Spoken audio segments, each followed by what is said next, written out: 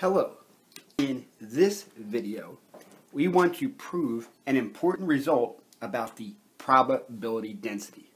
Recall that if we have a wave function psi, the probability density is the square modulus, or if we have a complex wave function, it's equal to psi star psi.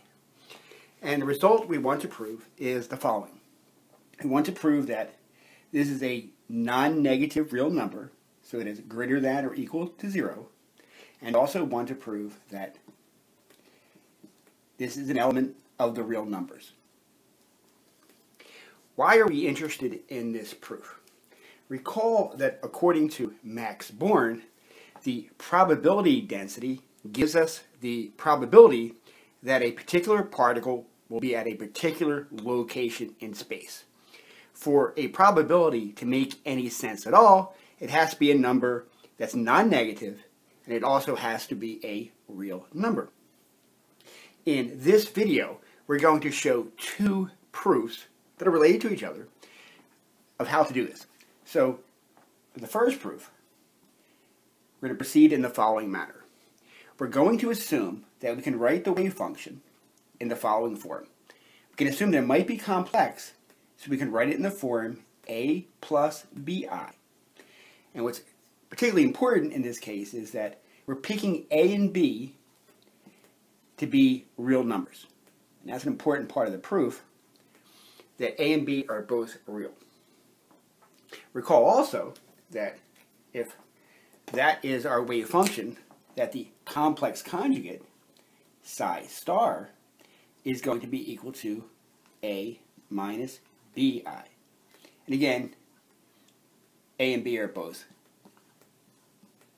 real numbers. So now, what do we want to do next? We want to actually form the product psi star psi.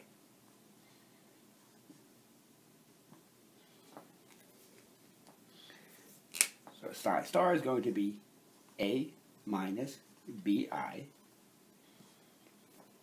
Psi itself is going to be a plus bi.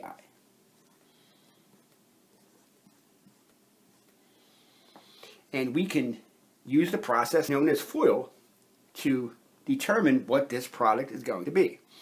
So first we have a times a. We have a squared. The next term is a times bi, so we have plus a b i minus bi times A is going to be minus ABI. And our last term is going to be minus BI times plus BI. So that gives us minus B squared I squared. So we can multiply formally. What do we get? Well, we notice that we have a plus ABI and minus ABI in the center. So those will add to 0 and we're left with a squared minus b squared i squared. But recall that since i is the square root of minus 1, i squared is equal to minus 1. So since i squared is minus 1 times minus b squared, we can simplify this to be a squared plus b squared. So we've determined that the complex conjugate is equal to, we start with a psi being a plus bi, the complex conjugate would be a minus bi, and then the probability density would be simplified to a squared plus b squared. Now, here's where we use the fact that a and b are both real numbers. Since a is a real number, that tells us two things about a squared it tells us first that a squared has to be greater than or equal to 0. For example, if a were a negative number and we squared it, we would get a positive number. If a were 0, a squared would be equal to 0. And if a is positive and we square the number, we have a number that's greater than 0. So in all three cases, a squared must be greater than or equal to 0. And if we take a real number a and multiply it by itself, we also get a real number because the real numbers are closed under multiplication, we say. So we know that a squared has to be a real number. Using exactly the same reasoning for b. So if we square b, we know that b squared also has to be greater than or equal to 0. It's a non-negative number. And similarly, if we take a real number b and multiply it times another real number b, the product b squared has to be a real number because the real numbers are closed under multiplication. So we've determined two important facts about a squared and b squared. And again, since a squared and b squared are each real numbers, we can add them together, and they're non-negative real numbers. We know that a squared plus b squared also has to be greater than or equal to 0. And the sum, a squared plus b squared, has to be a real number. So we've determined, we've proven what we set out to prove. We've proven that the probability density is actually a non-negative real number, which is what we need if we want to use the probability density and interpret it as the probability of a particle being in a particular location in space.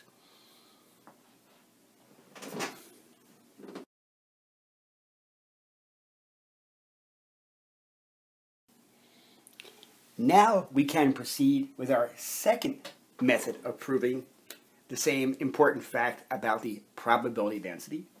So this is proof number two. And the trick in this case, we're going to write the wave function in the following form as r times e to the i theta. And r and theta are going to be real numbers.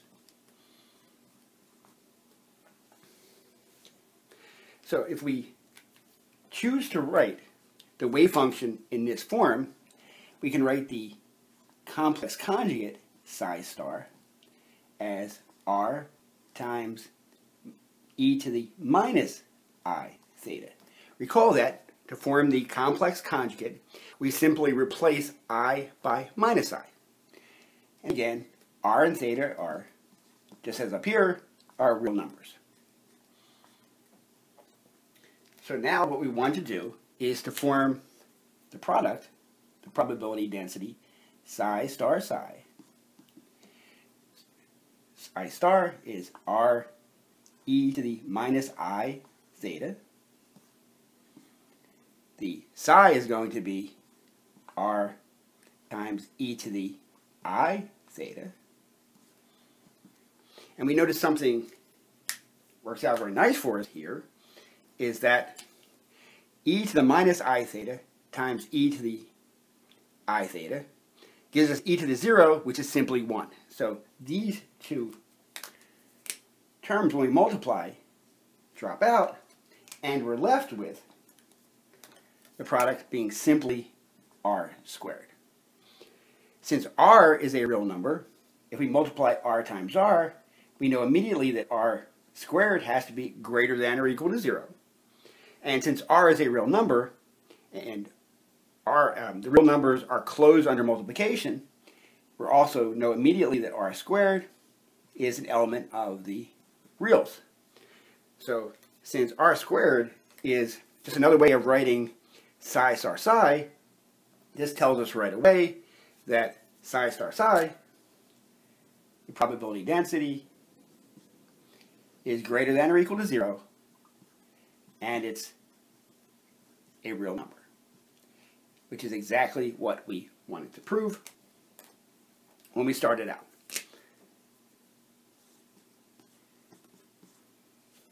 So we were able to demonstrate this important fact two different ways, and the trick in each case was simply how we chose to write the form of the possibly complex value of the wave function. I thank you very much for your attention. Have a good one.